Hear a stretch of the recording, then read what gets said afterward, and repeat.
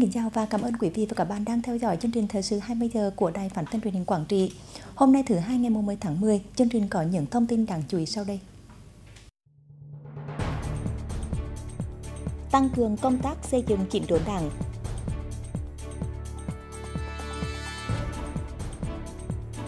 Lãnh đạo tỉnh thăm chúc mừng các doanh nghiệp nhân ngày Doanh nhân Việt Nam 13 tháng 10.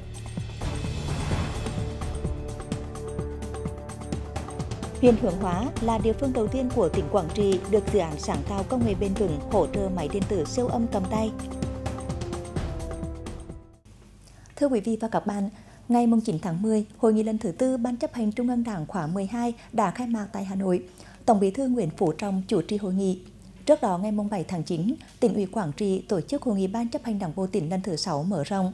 Trong chương trình làm việc, cả hai hội nghị đều có những nội dung rất quan trọng nhưng đáng chú ý và được dư luận rất quan tâm đó là công tác xây dựng đảng. Phát biểu khai mạc hội nghị, Tổng Bí thư Nguyễn Phú Trọng khẳng định,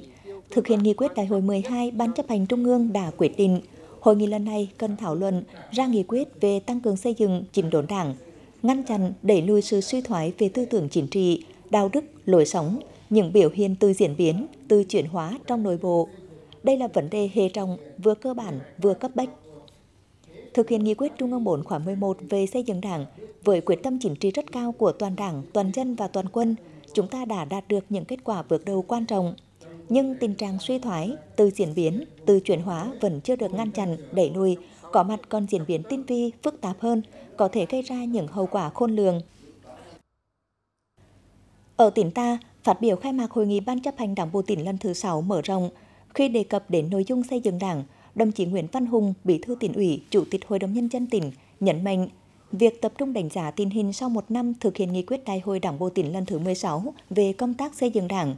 Từ những kết quả đạt được, cần làm rõ nguyên nhân vì sao một số cấp ủy, địa phương, các cơ quan chức năng chưa đồng bộ và thiếu quyết liệt trong công tác lãnh đạo, chỉ đạo, điều hành, tổ chức thực hiện nhiệm vụ chính trị.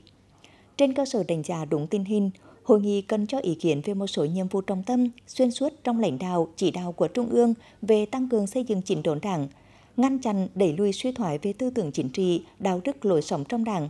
tiếp tục đổi mới phương thức lãnh đạo của đảng, xây dựng tổ chức bộ máy của hệ thống chính trị tinh gọn, hoạt động hiệu lực, hiệu quả. Cán bộ đảng viên và toàn thể nhân dân đang kỳ vọng vào sự lãnh đạo của đảng và luôn xem đó là nhân tố hàng đầu quyết định mọi thắng lợi của cách mạng Việt Nam – Xây dựng chỉnh đốn đảng luôn là nhiệm vụ đặc biệt quan trọng, có ý nghĩa sống con đối với đảng, chế độ. Cán bộ đảng viên và toàn thể nhân dân đang kỳ vọng vào sự lãnh đạo của đảng và luôn xem đó là nhân tố hàng đầu quyết định mọi thắng lợi của cách mạng Việt Nam. Xây dựng chỉnh đốn đảng luôn là nhiệm vụ đặc biệt quan trọng, có ý nghĩa sống con đối với đảng, chế độ. Thưa quý vị và các bạn, chào mừng kỷ niệm 86 năm ngày thành lập Hội Nông dân Việt Nam 14 tháng 10. Sáng nay, Hội Nông dân tỉnh tổ chức hội thi chung kết nhà nông đua tài lần thứ tư năm 2016. Đồng chí Phạm Đức Châu, Phó Bí thư Thường trực tỉnh ủy đã đến dự. Hội thi nhà nông đua tài là một trong những hoạt động chính trị rộng lớn trong toàn hệ thống hộ nông dân tỉnh Quảng Trị nhằm tuyên truyền các chủ trương, đường lối của Đảng, chính sách, pháp luật của nhà nước, nâng cao nhận thức nhiều mặt cho các cán bộ hội viên nông dân trong phát triển nông nghiệp, xây dựng nông thôn mới, đô thị văn minh và xây dựng giai cấp nông dân Việt Nam vững mạnh. Đây cũng là dịp để cán bộ hội viên nông dân gặp gỡ, giao lưu, học hỏi, chia sẻ kinh nghiệm và kiến thức, mở rộng mối quan hệ, tình đoàn kết giữa các cấp hội và cán bộ, hội viên nông dân trong toàn tỉnh. Đây là một cái dịp để là hội viên nông dân ở cơ sở ở miền núi à, được là giao lưu học hỏi ờ, cùng nhau phát triển. Ờ, ờ, đó là một điều rất là, là rất là quan trọng đối với những đối với là hội nông dân ở miền núi đặc biệt khó khăn. Tham gia hội thi, nhà nông đô tài có 9 đội thi xuất sắc được lựa chọn từ hội thi của 9 huyện thị, thành hội với 45 thí sinh tham gia. Hội thi gồm hai phần chính, phần thi kiến thức nhà nông thông qua trả lời các câu hỏi dưới dạng hỏi đáp, xem hình đoán nghĩa, câu hỏi trắc nghiệm và phần thi ý tưởng sáng tạo nhà nông. Với sự chuẩn bị chu đáo, các đội thi đã tạo ra sân chơi nhà nông đầy trí tuệ với không khí sôi động, thực sự là ngày hội đua tài của nông dân trong toàn tỉnh. Nội dung à, của đưa tài lần này có khác hơn trước là tập trung vào cái việc là tuyên truyền cái à, thành công của nghị quyết đại hội à, đảng toàn quốc lần thứ 12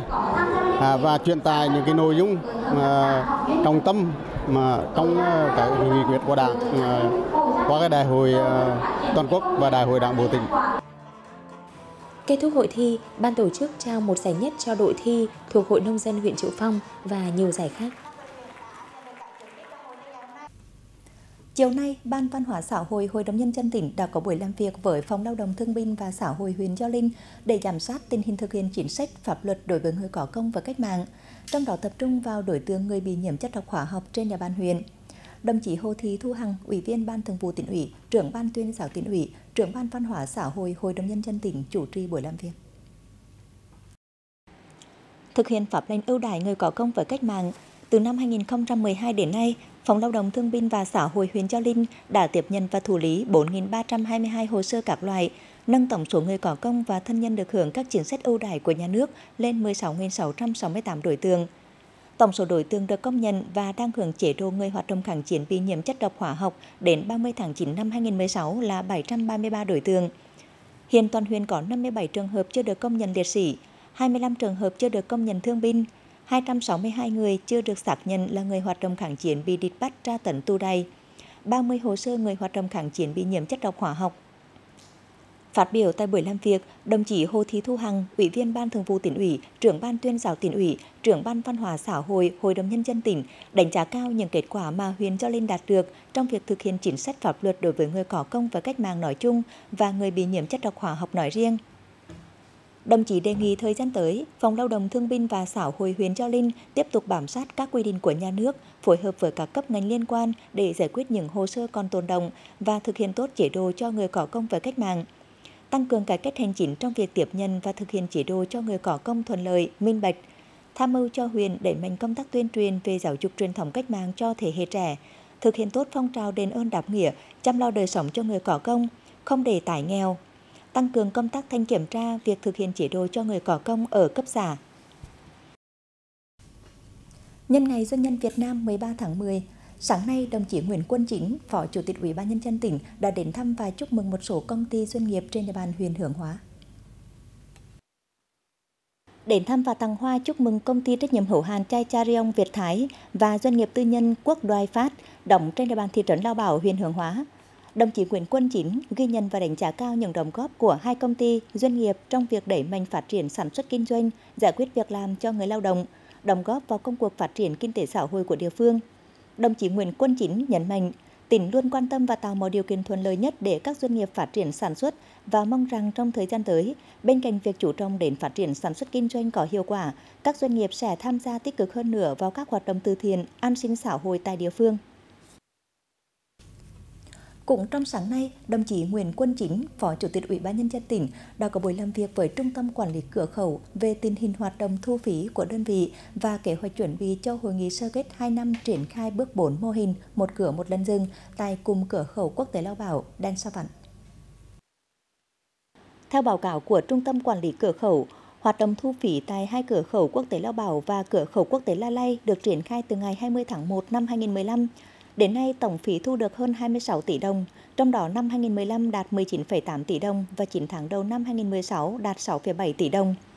Trong quá trình triển khai thu phí đã gặp một số khó khăn vướng mắc liên quan đến mức thu, quản lý nguồn thu và các hoạt động khác của đơn vị. Phát biểu tại buổi làm việc, đồng chí Nguyễn Quân Chính đề nghị Trung tâm Quản lý cửa khẩu tiếp tục tham mưu cho Ủy ban Nhân dân tỉnh các phương án điều chỉnh mức thu phí và quản lý nguồn thu theo hướng hiệu quả, hợp lý so với mức thu của một số cửa khẩu trong khu vực miền Trung. Đối với kế hoạch tổ chức chuẩn bị cho hội nghị sơ kết 2 năm triển khai bước 4 mô hình một cửa một lần dừng, dự kiến tổ chức vào cuối tháng 10. Đồng chí đề nghị Trung tâm Quản lý cửa khẩu và các đơn vị liên quan cần thống nhất nội dung, đánh giá ngắn gọn về những ưu điểm và khó khăn của mô hình nói trên. Đồng thời, cần có kế hoạch, phương án để tìm cách tháo gỡ các khó khăn vướng mắc trong quá trình triển khai mô hình.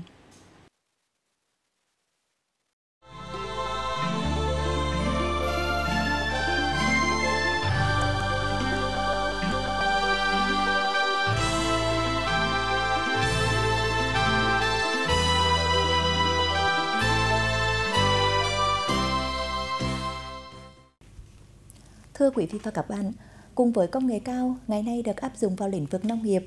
anh Phạm Xuân Tuyên ở thôn Phủ Áng, xã Triều Giang, huyện Triều Phong đã kết hợp với lợi thế về khí hậu, đất đai cho đến nguồn nguyên liệu để nuôi bò thịt, bò giống cung cấp cho thị trường trong tỉnh cũng như khắp cả nước. Trang trại chăn nuôi bò của anh là một trong số những mô hình quy mô lớn nhất trên địa bàn toàn tỉnh. Trang trại chăn nuôi bò nhốt tập trung của anh Phạm Văn Tuyên được đầu tư xây dựng từ đầu năm 2015 với tổng kinh phí gần 10 tỷ đồng. Sau nhiều tháng, trang trại của anh đã hoàn thành đồng bộ, xây dựng kiên cố, ấm về mùa đông, mát về mùa hè với công nghệ tiên tiến hiện đại theo mô hình khép kín, chăn nuôi khoảng 150 con bò. Trên diện tích trang trại 7 ha, anh dành ra 5 ha để trồng cỏ, 4 ha ngô dùng để làm thức ăn cho bò. Đàn bò được cho ăn thức ăn công thức trộn từ cỏ, mật và bắp. Sau mùa gặt, anh còn cho thả bò đi kiếm ăn ở các cánh đồng lúa để tận dụng nguồn thức ăn sẵn có, rơm dạ. Do đó mỗi ngày một con bò tăng trọng khoảng 1,5 kg, đến khi xuất chuồng đạt khoảng 500 kg trong khoảng 6 tháng nuôi. Chúng là chủ động thứ nhất là nguồn rơm rạ, à, phụ vệ phẩm trong của bà con khi cắt ừ, mùa vụ bỏ phí thì chúng tôi đã gom về và dùng các máy móc để gom thì khi đầu tư máy móc thì cái chi phí nhân công nó giảm lại. Và thứ hai nữa là chúng tôi đã đầu tư hệ thống muối cỏ chua. Nó quy mô là 12 bể, một bể là 15 khối. Thì để dần khi muối cỏ, để dần khi mùa đông, tốc độ cỏ sinh trưởng kém thì lấy đó là nguồn thức ăn để cho đàn bò phát triển bình thường. Anh Tuyên còn mạnh dạn đầu tư 140 triệu đồng mua máy cuốn rơm cất trữ làm thức ăn cho gia súc vào mùa đông. Với việc khép kín vùng nguyên liệu, chủ động đảm bảo nguồn thức ăn, anh Tuyên có thể tiết kiệm chi phí đầu vào thức ăn khoảng 50% giá thành so với thị trường. Mỗi năm anh Phạm Xuân Tuyên xuất chuồng gần 100 con bò cho doanh thu lên đến 1,3 tỷ đồng. Trang trại của gia đình anh còn giải quyết công an việc làm cho 5 lao động thường xuyên và 3 đến 4 lao động nhàn rỗi theo mùa vụ với mức thu nhập khá cao từ 4,5 đến 5 triệu đồng. Thưa quý vị và các bạn, huyện Hương Hóa là địa phương đầu tiên của tỉnh Quảng Trị được dự án sáng tạo công nghệ bền vững thuộc tổ chức Coica Hàn Quốc hỗ trợ máy điện tử siêu âm cầm tay. Qua đó đã góp phần thực hiện tốt hơn công tác khám chữa bệnh và chăm sóc sức khỏe cho đồng bào vùng sâu vùng xa. Hôm nay, chị Hồ Thị Xiên ở thôn Tari 1, xã Húc huyện Hương Hóa bị ốm nên các cán bộ của trạm y tế xã đã mang máy điện tử siêu âm cầm tay đến tận nhà để khám thai cho chị. Lúc trước, nếu không có máy siêu âm, chị Xiên cũng như bà con dân bản ở đây phải lăn lội hơn 10 km ra bệnh viện huyện để khám. Gần 3 tháng trở lại đây, nhờ có máy siêu âm nên việc khám và chữa bệnh đã trở nên thuận lợi hơn. Tôi bị ốm nên không đi khám được tại trạm y tế xã. Nhờ có bác sĩ mang máy siêu âm đến tận nhà để khám thai cho tôi, nên bản thân tôi thấy rất vui và yên tâm. Dự án sáng tạo công nghệ bền vững thuộc tổ chức Coica Hàn Quốc đã hỗ trợ 20 máy điện tử siêu âm cầm tay với mỗi máy trị giá hơn 120 triệu đồng cho các trạm y tế xã vùng cao thuộc huyện miền núi Hướng Hóa. Dự kiến thời gian hoàn tất việc hỗ trợ cũng như tập huấn, đào tạo việc sử dụng các máy điện tử siêu âm cầm tay sẽ diễn ra trong năm 2016-2017. Qua đó, nếu dự án được triển khai thành công thì sẽ nhân rộng mô hình sử dụng tại các trạm y tế trên các địa phương toàn tỉnh hỗ trợ máy điện tử siêu âm cầm tay cho các trạm y tế xã vùng cao thuộc huyện miền núi Hướng Hóa với mục đích ý nghĩa là nâng cao trình độ cho đội ngũ cán bộ y tế trong việc tiếp cận máy móc hiện đại để phục vụ tốt hơn công tác chăm sóc sức khỏe, đồng thời nâng cao vai trò và tầm quan trọng của y tế xã để thực hiện tốt hơn việc khám và chữa bệnh cho người dân. Máy điện tử siêu âm cầm tay của dự án sáng tạo công nghệ bền vững thuộc tổ chức Coica Hàn Quốc đã đến với bà con vùng sâu vùng xa của huyện Hướng Hóa.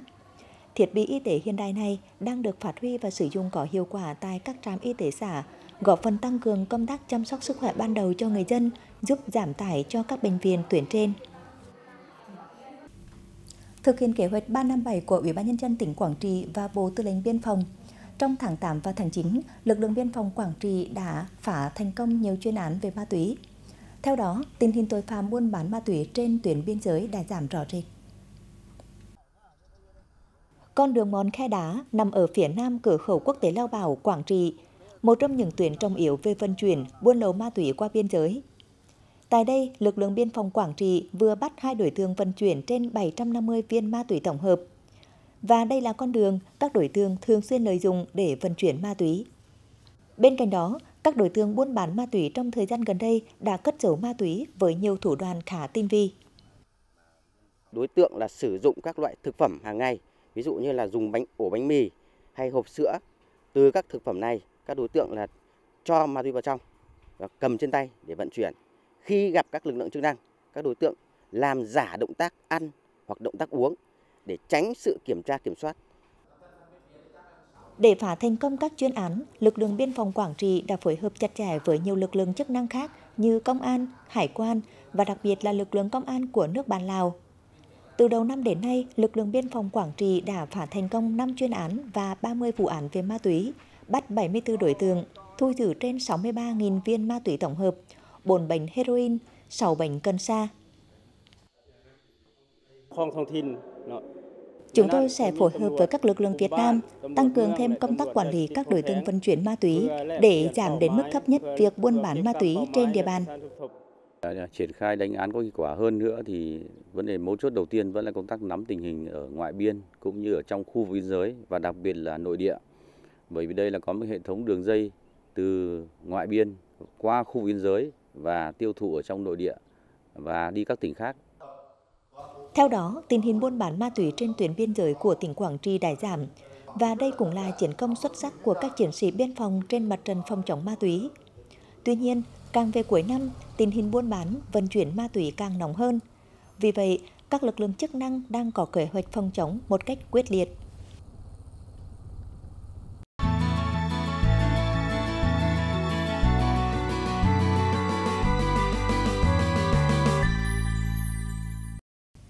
Thưa quý vị và các bạn, từ nỗi vất vả của bản thân sau những năm tháng từ nỗ lực vươn lên đẩy lùi nghèo đói,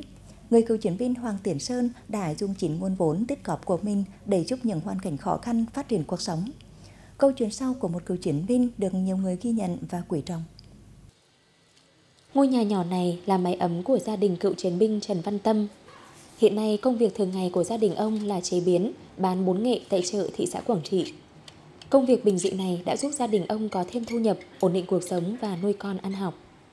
Thế nhưng nếu không có sự giúp đỡ của ông Hoàng Tiền Sơn 3 năm trở về trước, thì ước mơ về sự ổn định, về con đường học hành của con cái, ông cũng phải đành tâm khác lại. Khi nhận được tin vui con đỗ cao đẳng, vợ chồng ông Tâm cũng đồng thời đứng trước nỗi lo gạo tiền. Muốn bán buôn thì đành dừng việc học của con lại, muốn con đi học thì đành lấy chút vốn liếng ít ỏi cuối cùng đưa cho con nhập học. Cách đây ờ, khoảng 3 năm, tôi được ông Hoàng Tiến Sơn, một ờ, hội viên trong hội, có điều kiện kinh tế ờ, khấm khá hơn là hỗ trợ cho tôi được 5 triệu. Giúp cho vợ chồng tôi vượt qua những lúc khó khăn nhất và nuôi con ăn học. Từ cái nguồn vốn ban đầu đó thì hiện nay vợ chồng tôi đã ổn định được cuộc sống. Con cái đã được Ờ, học hành và thành đạt. Với suy nghĩ, tôi chỉ muốn đồng đội đồng chí tôi bất khổ. Ông Hoàng Tiền Sơn đã có nhiều hành động ý nghĩa để giúp các cựu chiến binh khác vượt qua khó khăn. Như hoàn cảnh của bà Nguyễn Thị Trung Thành, lúc chồng mất, bản thân bà đau ốm liên miên, kinh tế gia đình rơi vào khó khăn, túng thiếu, tưởng chừng khó lòng để vươn lên. Cũng chính lúc này, cựu chiến binh Hoàng Tiến Sơn trao đến tay bà 10 triệu đồng để mở cửa hàng sửa chữa quần áo và bán dụng cụ bảo hộ lao động Nhờ có số vốn này mà đến nay gia đình bà đã có cuộc sống ổn định hơn. Thì tôi nghĩ rằng thì tôi giúp cho đồng chí đồng đội tôi là một cái khoản tiền mặc dù nhỏ bé nhưng tạo điều kiện cho đồng chí đồng đội là uh, góp thêm phần để phát triển kinh tế gia đình. À, ngoài ra chúng tôi không có một cái nhu cầu gì về cho bản thân mưu lợi cho bản thân chúng tôi một cái gì hết. Từ hai bàn tay trắng, người cựu chiến binh ấy đã làm nên một cơ ngơi hàng chục tỷ đồng, động viên thanh niên xuất ngũ đi học nghề và tạo điều kiện việc làm, đóng góp không nhỏ cho ngân sách của địa phương. Điều quan trọng hơn cả chính là cái tâm của một cựu chiến binh đối với những hoàn cảnh khó khăn trong cuộc sống. Những đồng vốn cho vay không hoàn lãi ấy đã giúp đỡ nhiều gia đình tự vươn lên. Trong công tác thì đồng chí là, là thể hiện hết mình với bản chất người lính cứu hộ, cho nên đồng chí làm hết mình với trách nhiệm của mình ngoài công tác xã hội công tác gia đình rồi công tác ờ, khác khi cần thì đồng chí sẵn sàng với những hoàn cảnh khó khăn một lời động viên một sự quan tâm nhỏ cũng là động lực lớn để họ vượt qua hoàn cảnh Hiểu được điều đó, cựu chiến binh Hoàng Tiến Sơn đã biến sự sẻ chia thành những hành động cụ thể. Ông suy nghĩ mình còn sống để trở về là một may mắn rất lớn so với nhiều đồng đội khác. Vậy nên yêu thương, sẻ chia và giúp đỡ chính là việc làm ý nghĩa nên làm.